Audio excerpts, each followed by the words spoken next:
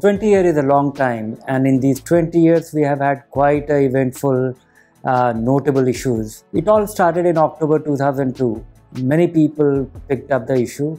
We put it on our website. In fact, we were an unusual setup which had a website and was launching a print magazine. And uh, first was that everybody said that, oh, this is a 100 rupee magazine.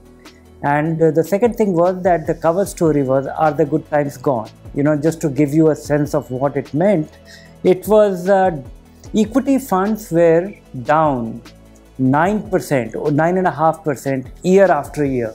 So you would have lost your 27% capital in the past three years. It would have been down about 27 28%.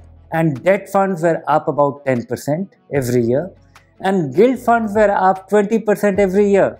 So if you had 100 rupee invested in a debt fund, it would have been reduced by 27%. Debt fund went up by 30% and gilt funds went up by 60%. It actually awed everyone that, you know, these value research guys have gone crazy. They are saying that the party is going to be over, something which was, uh, the party was at its peak. So our first cover, you know, it remains a memorable one. It was very special to us.